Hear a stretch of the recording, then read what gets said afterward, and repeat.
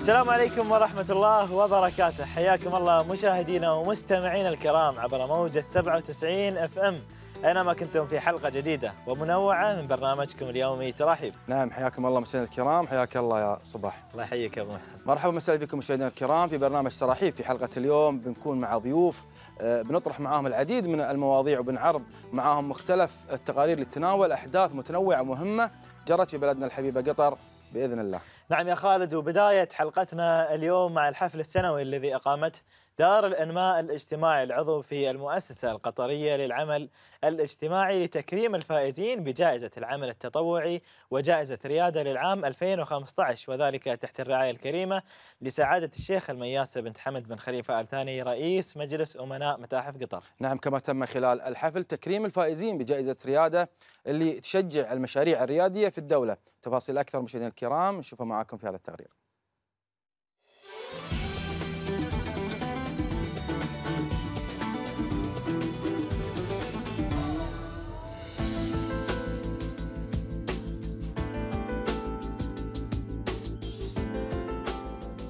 تحت رعاية سعادة الشيخ المياس بنت حمد بن خليفة آل ثاني رئيس مجلس أمناء متاحف قطر أحيا دار الإنماء الاجتماعي حفل جوائز دار الإنماء لعام 2015 وذلك في فندق سانت ريجيس.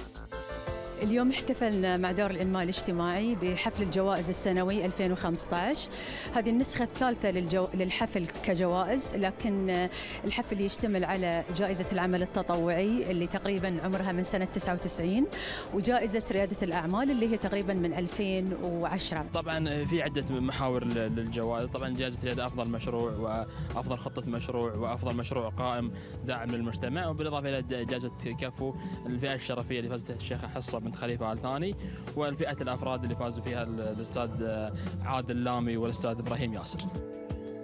ويهدف برنامج جوائز دار الإنماء الاجتماعي للعمل التطوعي إلى ترسيخ ثقافة العمل التطوعي بين الشباب القطري بشكل أساسي وتقدير الجهود الحقيقية التي تبذل من أجل العمل التطوعي. أحب أشكر دار الانماء الاجتماعي على إتاحتها لهذه الفرصة لأن هالفرصة هذه قاعد تفتح آفاق جديدة في التطوع قاعد تخلي الشباب يتطوعون أكثر وأكثر. أنا أقول لكم إياها يا شباب رسالتي في الأخير ترى اللي يتطوع يصير منتج أكثر. وتأتي الجائزة أيضا للتأكيد على المفهوم الخاص للعمل التطوعي غير الربحي ودون أي مقابل مادي لكونه نشاطا اجتماعيا يقوم به الأفراد طواعية من أجل مساعدة الآخرين أو تنمية مستوى معيشتهم أو ترقية المجتمع بصفة شاملة. كما تم خلال الحفل تكريم الفائزين بجائزة ريادة وهي جائزة أطلقتها دار الإنماء الاجتماعي بغرض تشجيع المشاريع الريادية في دولة قطر وللاحتفال بأصحاب تلك المشاريع والجهات الداعمة لهم.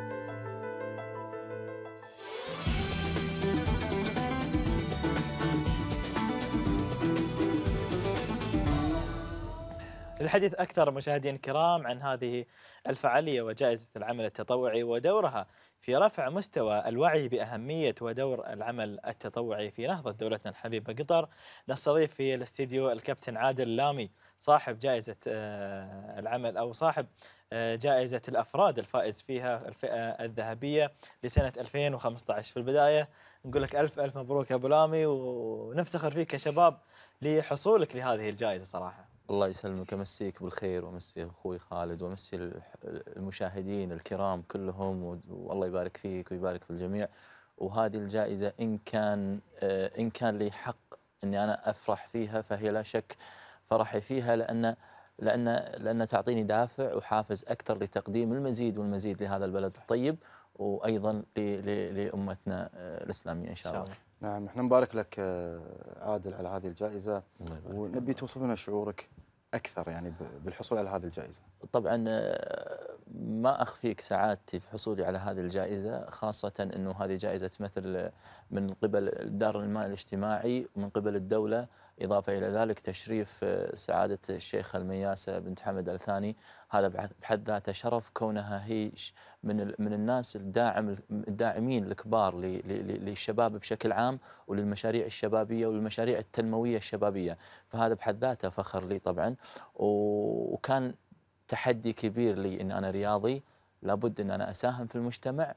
وهذا ما حصل إن أنا رياضي أقدر أنا أقدم شيء ثاني للمجتمع مو بس في مجال الرياضة في أي مجال ثاني لأنها أمانة في كفو النهاية. ما منك. قصور يا الله. يسلمك مع يمكن آه، عادل تكريم دار الأنماء الاجتماعي لك ولإخوانك الشباب هذا يعني ما جاء من فراغ ويعتبر مسؤولية كبيرة الآن في الاستمرار ونقل الخبرة الآن. راح تجي مرحلة نقل خبرة أو ثقافة العمل التطوعي للناس من خلال تجربتك آه، التطوعية، لكن لو تحدثنا آه، آه، عن التجربة اللي مر فيها عادل نعم. وبالفعل أهلته للحصول لجائزة العمل التطوعي اللي تعتبر على مستوى الدولة. نعم. هي بصراحة آه، يمكن السنة اللي فاتت بالتحديد كانت تجربتي في العمل التطوع يعني كثيرة ولله الحمد وكبيرة. يعني من من ذهابي إلى آه، عن طريق آه، مع حملة ليان إلى اللاجئين السوريين في لبنان وخوض التجربة هناك والمعايشة معاهم وتمثيل دولة قطر هناك إلى آه، سفرنا مع بعض يمكن تذكر آه، في قلب واحد صحيح. ونقل معاناة أهل الجزيرة والمبالغ. ولله الحمد اللي قدرنا نجمعها تقريبا صباح 6 مليون ريال. الحمد لله. ولله الحمد. آه، آه، إضافة إلى ذلك بفضل من الله أنا عندي مشروعي الخاص اللي هو يطبق على مدارس الدولة زيارات رياضية آه، فيها آه، طبعا آه، زيارات رياضية آه، يتخللها آه، فعاليات فعاليات آه، تحفيزية فعاليات آه، بالتحدي فعاليات بالأخلاقية آه، نستقبل. ضيوف آه، قيم ما قيم.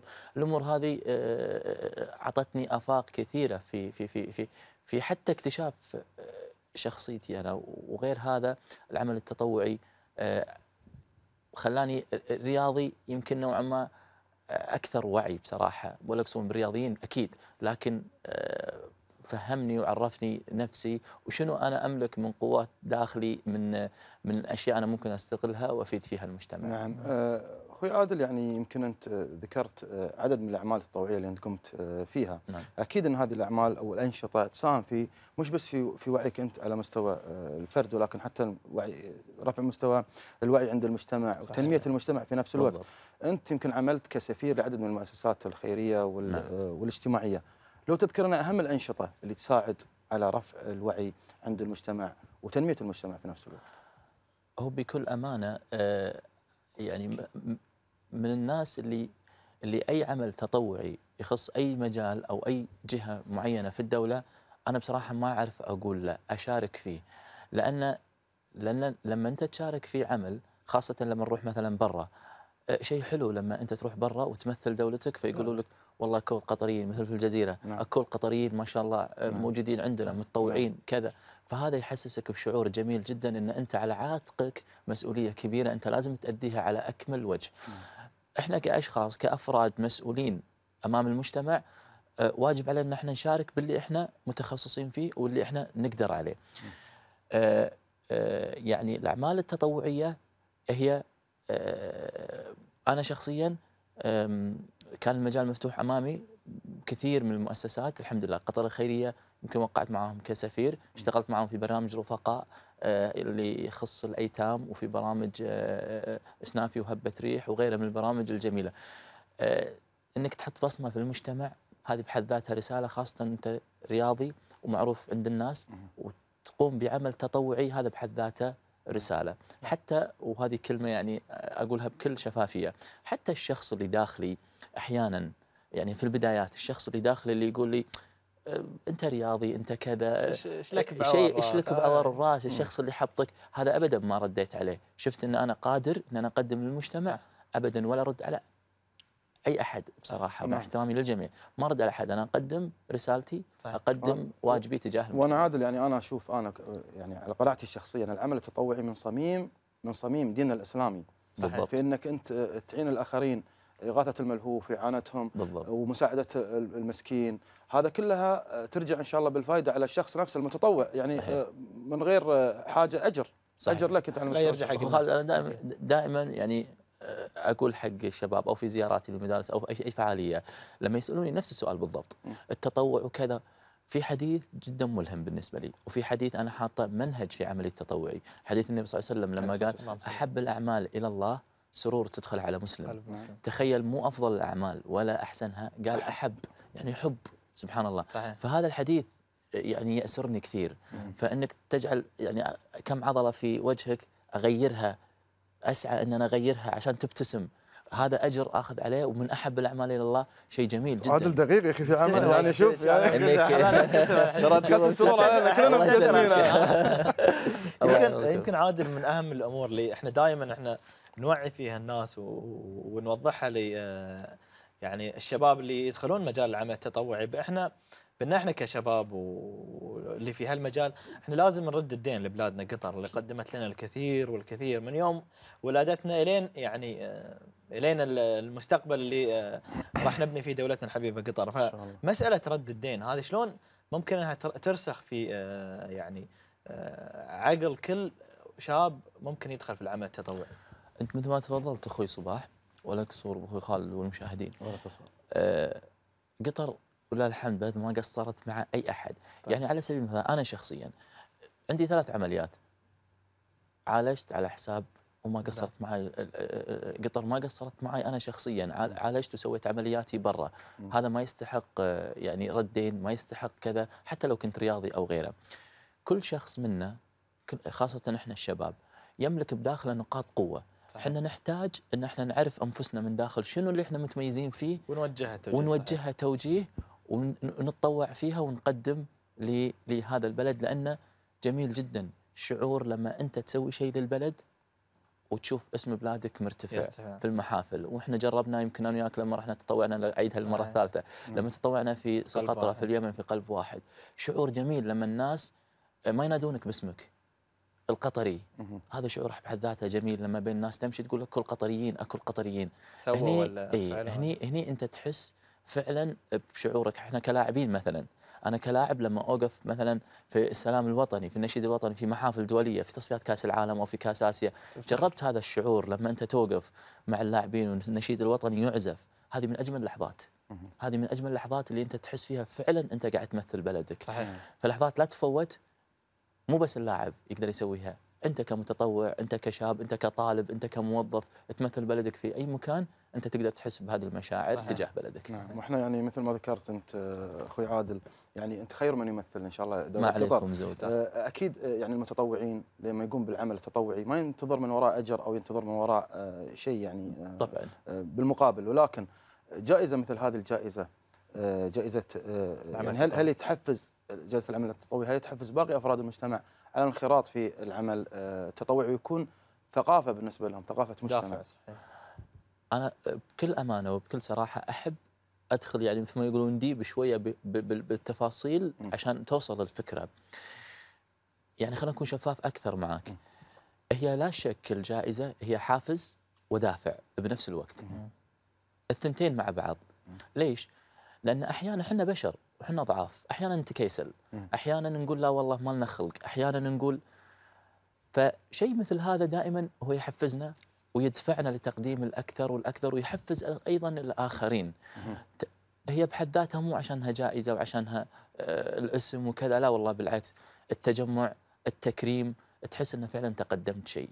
هني غيرك يتحمس إنه يقدم وأنت بعد ال ال ال ال ال الهبوط هذا في مستواك وعطائك إذا حسيت إنه نزل يرتفع. يرد يرتفع صحيح. مرة ثانية لأن حسيت في تقدير وحسيت فيه وان عملك يعني. ينظر له بعين الاعتبار بالضبط يعني هذا بس رغم أقل شيء رغم رغم ان رغم إن العمل التطوعي هو تطوعي تطوع تطوع. ما تنثر مراشد بس تنثر كل واحد مراشد. ينتظر كلمة. كفو ولا ما قصرت بس بالضبط تكفي هذا هذا كان شعار بالضبط. الجائزة نعم. في السابق كفو ونقول لك كفو يا آه، عادل آه، عادل قبل لا نختم على عجالة شلون تشوف أهمية مشاركة يعني آه، الوجوه الإعلامية أو الرياضية ال- المعروفة عندنا في المجتمع في الأعمال التطوعية اللي من شأنها راح تحفز الناس آه، على الدخول في العمل التطوعي. وانت وانت يعني مثال يحتذى بك يا الله يجزاك خير.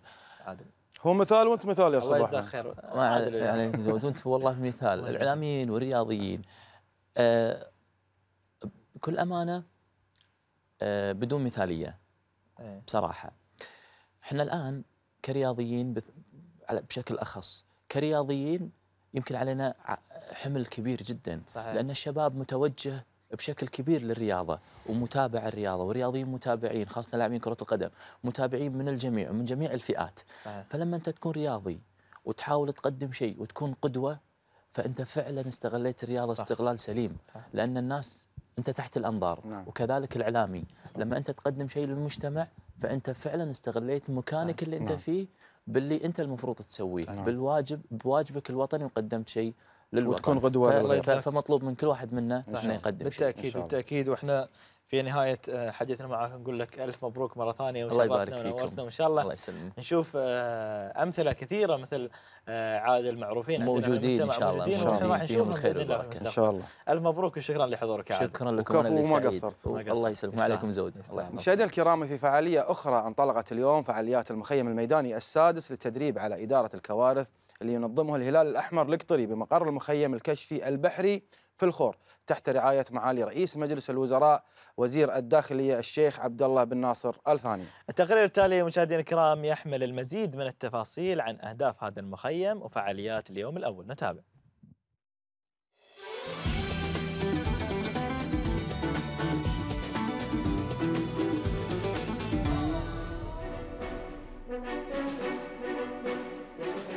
تحت رعاية معالي رئيس مجلس الوزراء ووزير الداخلية الشيخ عبد الله بن ناصر آل ثاني انطلقت فعاليات المخيم الميداني السادس للتدريب على إدارة الكوارث الذي ينظمه الهلال الأحمر القطري. المخيم الذي يستمر لمدة عشرة أيام ينظم بمقر المخيم الكشفي البحري بالخور وذلك بالتنسيق مع عدة مؤسسات قطرية حكومية وغير حكومية والاتحاد الدولي للجمعيات الوطنية واللجنة الدولية للصليب الأحمر والأمم المتحدة. الإعلان عن انطلاق فعاليات المخيم السادس تم من خلال المؤتمر الصحفي الذي أقيم بمقر الخيمة الإنسانية بالمخيم بحضور ومشاركة عدد من ممثلي المجتمع المدني والعسكري. مخيم إدارة الكوارث حقيقة آه، له عدة أهداف. آه، الأهداف الأساسية منه أن تواجد جميع الجهات المعنية بالكوارث آه، في دولة قطر. وكذلك تواجد الخبرات الدولية في هذا المخيم. ولله الحمد لما حققه من نجاح في السنوات السابقة والأعداد الكبيرة من المتدربين التي آه، المتطوعين من المجتمع المدني اللي أهلهم للتعامل مع آه، هذا النوع من الكوارث. هذا المخيم حدث سنوي آه، للاستفادة القصوى منه من الجميع حقيقة. المخيم لهذا العام اجتذب حوالي 350 مشاركا ومشاركة من داخل ومن خارج قطر منهم 54 مشاركا من 15 جمعية وطنية وعربية من منطقة الخليج والشرق الأوسط وشمال أفريقيا بالإضافة إلى 45 مدرب يمثلون عدة جمعيات ومنظمات دولية ومحلية يعملون على إخضاع المشاركين في المخيم إلى برنامج تدريبي مكثف يتضمن جوانب نظرية وعملية. بدينا اليوم موضوع التسجيل واللواء للمتطوعين اللي عددهم حتى الآن 350 متطوع مشارك في المخيم، بدينا من حوالي تقريبا الاستعداد المخيم من حوالي ست سبع شهور. والحمد لله اليوم انطلاقة المخيم، المخيم بيكون فيه تدريب عملي وتدريب نظري، التدريب النظري بيكون لمدة خمسة أيام كل يوم حوالي ثمان ساعات. والت- والتدريب العملي بيكون ثلاثة الأيام الباقيه. وبيكون في اليوم الأخير بيكون هو اليوم آه، الختامي اللي هو سيناريو المخيم وبيكون في عبارة عن سيناريو لو- لوقوع كارثة ما وكيفية التعامل معها من قبل المتطوعين اللي كانوا شاركوا آه، في المخيم. ويتفرد مخيم إدارة الكوارث بكونه التدريب الوحيد من نوعه في العالم الذي ينظم باللغة العربية وهو يهدف إلى تكوين قاعدة مجتمعية مدربة ومؤهلة في مجال الاستجابة للكوارث وإغاثة المنكوبين.